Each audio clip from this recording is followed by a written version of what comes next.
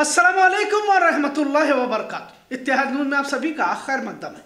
Congress party की बदलती मनसूबाबंदी और मुसलमान। इश्क और जंग में सब कुछ जायज़ है कहा जाता था, पर अब वो वाला इश्क कहाँ रहा? अब तो कहानियों में, किताबों में इश्क माशूक, महबूब जैसे अल्फाज दफन हो चुके हैं। खैर, सियासत पर बोलना इसलिए ज़रूरी है, क्योंकि आज की सियासत और खासकर भारत की सियासत धर्म मज़हब के इर्द गिर्द घूमती नज़र आ रही है। कुछ तब्दीलियाँ मुल्क के साथ, रियासत और खासकर कर्नाटक की सियासत में भी देखी जा रही है। इन तमाम के दरमियान जो कौम निशाने पर है वह है कौम मुस्लिम।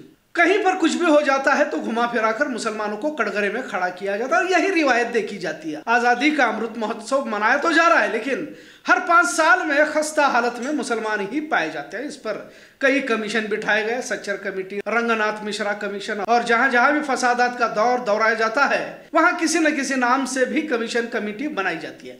और उसमें मुसलमानों के हालात बयान किए जाते हैं। तमाम सियासी पार्टियाँ महज वोट बैंक बनाकर मुसलमानों को इस्तेमाल करती है, ये भी अलग से बोलने की ज़रूरत नहीं है। पहले आज की असल खबर पर नज़र डालते असल खबर इसलिए क्योंकि ये बहुत अहम है, क्योंकि मुसलमानों के हालात पर अक्सर तबसरा होता रहता है और अब तो मुसलमानों को ही आदत पड़ती जा रही है कि जब तक इन्हें कोई सियासी पार्टी, कोई सियासी लीडर कुछ नहीं कहता, इन्हें अच्छा भी नहीं लगता। खैर, ईद मिलाद और गणेश त्योहार एक साथ आने से तनाव का माहौल देखा जा रहा है। खासकर कर्नाटक के कुछ इलाके और महाराष्ट्र में बड़े पैमाने पर ईद मिलाद और गणेश त्यौहार के जुलूस निकाले जाते हैं। 2024 चुनाव के मद्देनजर भाजपा संघ की जानिब से फसाद करने की साजिशें अंजाम दी जा सकती है। ऐसा कयास बारह लगाया जा उद्धव ठाकरे हो, सत्यपाल मलिक हो, ममता बनर्जी, और भी दिगर कई विपक्ष के नेताओं ने कयास लगाया कि फसाद हो सकते हैं, फसाद भाजपा करवा सकती है। वज़ीर अला सिद्धरामैया ने बड़ा बयान देते हुए कहा कि रियासत में अगर किसी तरह हालात बिगड़ते हैं या कानून न्याय व्यवस्था को नुकसान पहुँचता है तो वहाँ के एसपी, डीसीपी को जिम्मेदार ठहराया जाएगा और उन पर कार्रवाई की जाएगी। यह बयान बड़ा इसलिए कहा जा रहा है की मिलाद और गणेश एक साथ तो आ ही रहे और इसी के मद्देनजर शरारत की कोशिश भी हो सकती है। एक तरह से सिद्धरामैया हुकूमत ने भगवादारियों को इशारा ही दिया है। तो मुसलमानों को कहीं तो राहत कह सकते हैं, क्योंकि उमूमन कहीं पर भी फसाद होता है। यानी कि इससे पहले की अगर तारीख उठाकर देखते हैं तो मुस्लिम इलाकों पर ही पुलिस तैनात कर दी जाती है। मुसलमानों की बेवजह गिरफ्तारियाँ की जाती है, हुबली के नौजवानों की अब तक रिहाई नहीं हुई। यह बारहा, फिर एक बार कहना ज़रूरी समझूँगा। ना सिर्फ़ कर्नाटक, बल्कि भारत में जितने भी फसाद हुए हैं, इसकी ज़्यादातर कीमत अकलीती तबके को ही चुकानी पड़ी है। क्योंकि एक नैरेटिव चलाया गया कि फसाद मुसलमान करते हैं, मस्जिदों से पत्थर आते हैं, इस तरह की कहानियाँ बनाई गई। और ज़ाहिर है, पुलिस भी मुसलमानों के खिलाफ कार्रवाई की आदत में मुलविस पाई जाती है, और बारह इसकी मिसाल देखने को भी मिली लेकिन अब कुछ हालात बदलते नज़र आ रहे हैं। यह अलग बात है कि कितना अमल सही से होता है। हुबली की तरह मैंगलोर, बीदर, बेंगलोर के कई जगहों पर भी हज़ारों नौजवानों पर मुकदमे दाखिल किए गए।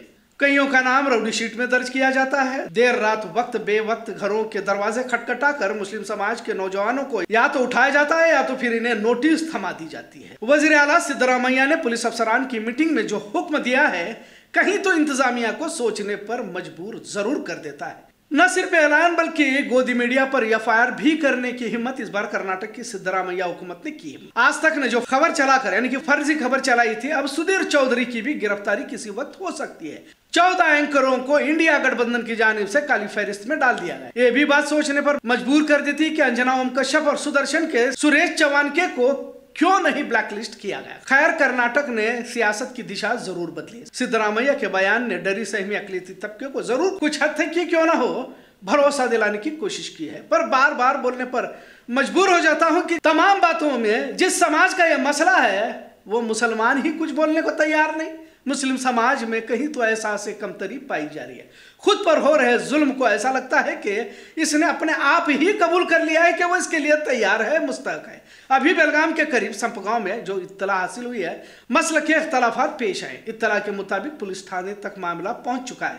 कहने का मतलब आज भी हम कहाँ फंसे हुए हैं? दुश्मन तुम्हारी कब्र खोद चुका है। और तुम्हें आपसी इख्तलाफा से फुर्सत नहीं सिवाए अफसोस के कुछ नहीं कह सकते। और महज एक गाँव करिया या देहात, शहर का मामला नहीं है। तकरीबन मुसलमानों के मोहल्ले या घर, खानदान सभी किसी न किसी गैर ज़रूरी इख्तलाफात में मुलविस है चाहे कोई दीनी रहबर हो या सियासी रहबर किसी तरह की कोशिश उम्मत के सुलगते मौजूदा हालात में कर रहे हो, नज़र नहीं आ रही। इससे पहले भी हमने कहा था कि अपने मसलक जमात, मौलवी मसल की किताब, झंडे, इनकी टोपी, इनका लिबास, बस यहाँ तक ही सोच देखी जाती है। फिर एक दूसरे को सही साबित करना अपने आप को हक पर, और दूसरे को मुशरक, काफिर, गुमराह, बेदीन जैसे अलकाब से नवाजना इसे भी कुछ लोग नहीं की समझते। आखिर और किस बर्बादी का इंतज़ार कर रही है, ये उम्मत समझ में नहीं आ रहा। जितना जोश आपस में लड़ने में आज का मुसलमान दिखाता है, कभी अपने हुकूक अपने पर हो रहे जुल्म ज्यादती दीन इस्लाम पर हमले पर कभी नहीं दिखाता। क्योंकि कभी इस तरह की तरबियत हुई नहीं।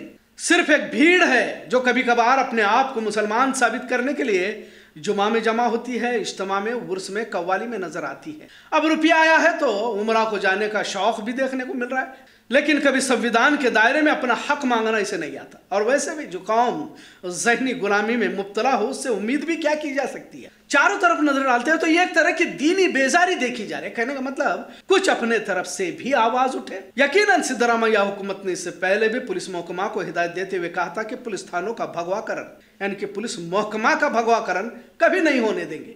क्योंकि भाजपा हुकूमत में पुलिस थानों का या पुलिस महकमा का भगवाकरण होते हुए देखा जा रहा था। और कुछ पुलिस अफसरान को खुलकर हिंदुत्व तंजीमों के कारकुन बनकर काम करते हुए पाया जाता है यानी कि वर्दी के अंदर कहीं तो बजरंग दल का कारकुन छिपा हुआ नज़र आ रहा था। एक बार फिर रियासत में किसी तरह फसाद होता है तो पुलिस अफसरान एसपी, डीसीपी को जिम्मेदार ठहराने की बात कही गई है। ज़ाहिर है पुलिस अफसरान पर भी दबाव देखने को मिल रहा है। साथ में अकलियती समाज को भी चौकन्ना रहना होगा, खासकर मुसलमानों को। सभी इंतजामिया पर ज़िम्मेदारी डालकर बैठना हिमाकत होगी। जो भी हो पर मौजूदा कांग्रेस हुकूमत कुछ हद तक ही सही, पर अकलियतों के असल मुद्दे को समझने की कोशिश कर रही है।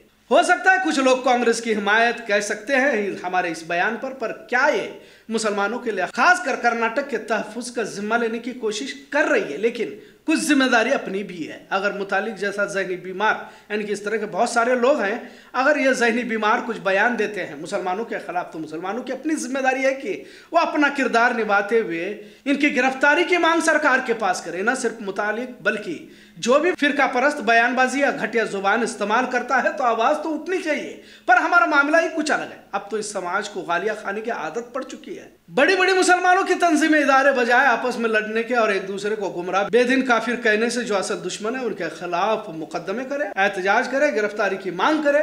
ताजुब तो यह है कि मुसलमानों के लिए कोई गैर आवाज़ उठाता है और मुसलमानों के अकाई दीनी रहनुमा खामोश बैठे रहते हैं। बड़े अफसोस के साथ ही कहना पड़ता है कि इतनी बड़ी मिल्लत कौम मुस्लिम कहने को बड़ी बड़ी बातें तो करती है। किसी पर एतराजात, किसी पर तंज, किसी का नुस्ख निकालती है। पर दूसरों के सहारे तलाश कर जीना चाहती है, इतना ज़रूर है। आज का मौजू कैसा लगा इस पर ज़रूर कमेंट करें।